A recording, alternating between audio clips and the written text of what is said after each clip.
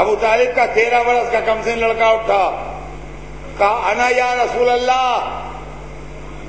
یا رسول اللہ، میں۔ پورے مجمع میں سب سے کم سن یہی بچہ تھا۔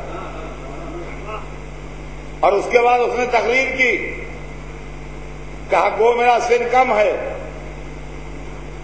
گو میرا جسم کمزور ہے۔ مگر میں آپ کی مدد کروں گا۔ آپ کے دشمنوں کی آنکھیں پھوڑ ڈالوں گا۔ آپ کے مخالفوں کے پیٹ چاک کر دوں گا۔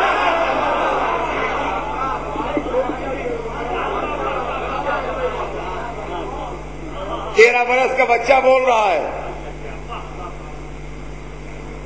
پوری زندگی تقریر میں گزارنے کے بعد اس بڑھاپے میں ہم یہ کہتے ہیں کہ بچے کی تقریر میں بچکانا پن ہے۔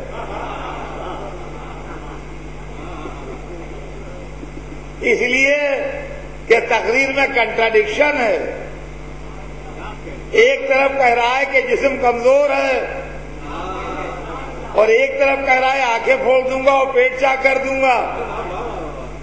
یا علی، تقریر میں کنٹراڈکشن ہے۔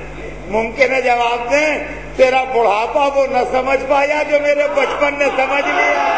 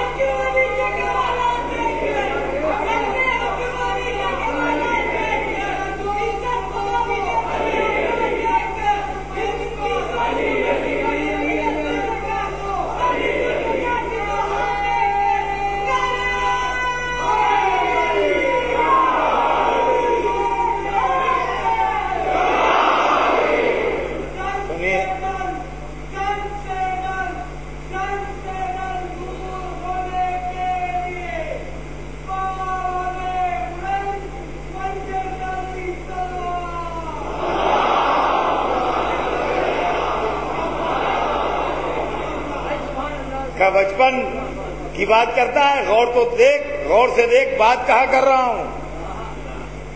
بڑے کے سامنے طاقت کا اظہار بدتمیزی ہے۔ باپ کے سامنے کوئی صاحب سینہ پھلا کے آ جائیں، یہ بدتمیزی ہے۔ بڑے کے سامنے طاقت کا اظہار بدتمیزی ہے۔ دشمن کے سامنے کمزوری کی بات کرنا بزدلی ہے۔ اس وقت محفل میں سامنے دشمنان محمد بہت سے بیٹھے ہیں اور سامنے خدا و رسول ہے۔ لہذا طاقت کا اعلان بدتمیزی ہے۔ کمزوری کا اظہار بزدلی ہے۔ لہذا کمزوری کا اعلان خدا و رسول کے سامنے ہے۔ طاقت کا اعلان دشمنان محمد کے سامنے ہے۔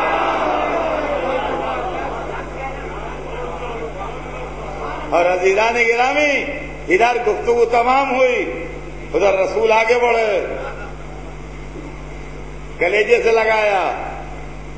کہ آج سے یہی میرا وسیع و جانشین ہے۔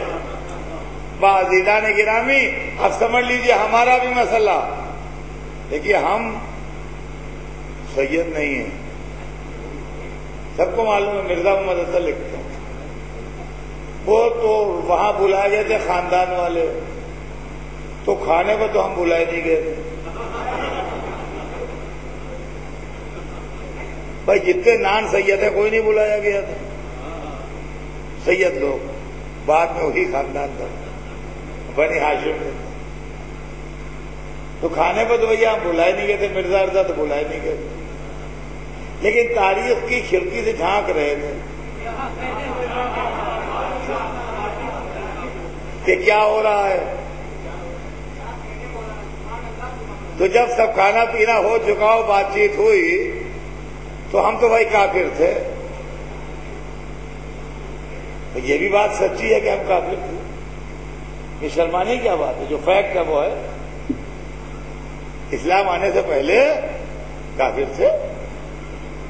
انہوں نے کہا کہ اللہ ایک ہے۔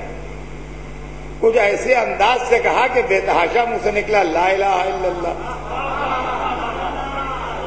اگر وہ اتنا کہہ کے بیٹھ جاتے تو ہم ساری زندگی لا الہ الا اللہ ہی کہتے۔ انہوں نے کہا کہ مجھے اس نے اپنا رسول بنایا ہے۔ چالیس برس کا بےداغ کیریکٹر سامنے تھا۔ منہ سے بےتحاشا نکلا، محمد رسول اللہ۔ اگر وہ اتنا کہہ کے بیٹھ جاتے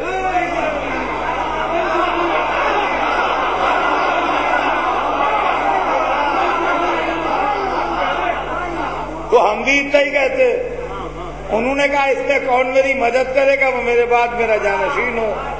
علی نے اٹھ کے مدد کی۔ ہمارے منہ سے نکلا علی ان ولی اللہ۔ اچھا ادھر کام شروع ہوا تبلیغ کا۔ ادھر ہم اپنے کلمہ پڑھا کرتے تھے۔ وہ لوگ تبلیغ کیا کرتے تھے۔ ہم کلمہ پڑھا کرتے تھے۔ یہاں تک کہ جب تبلیغ کا آخری دن آیا اور حضور ممبر پر گئے اور علی پہلو میں کھڑے ہوئے تو انہوں نے بولنا شروع کیا اوپر سے، نیچے سے ہم نے کلمہ پڑھنا شروع کیا۔ انہوں نے کہا، اللہ ہو مولایا۔ ہم نے کہا، لا الہ الا اللہ۔ انہوں نے کہا کہ انا مولا المومنین۔ ہم نے کہا، محمد الرسول اللہ۔ ان کا من کن تو مولا بعد علی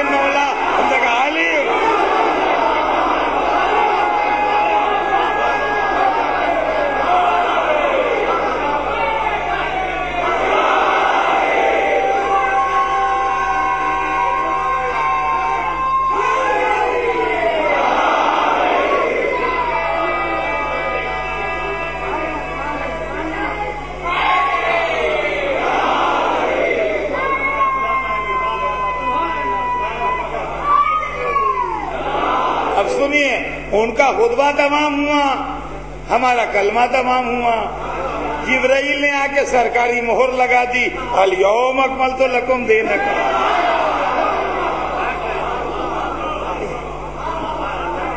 عزیزان گرامی بات اب کل آگے۔ آج اسلام کی تحریک کا آغاز ہو گیا، سلسلہ آگے بڑھ گیا، اعلان رسالت ہو گیا۔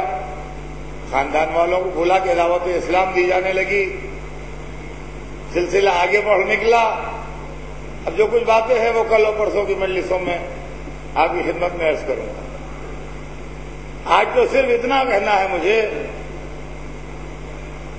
کہ ابو طالب کا بیٹا کم سن تھا اور تاریخ میں اس کی عمر تیرہ سال لکھی۔ ہے آج کی رات ہمیں اسی گھرانے کا ایک تیرہ برس کا لڑکا یاد ہے۔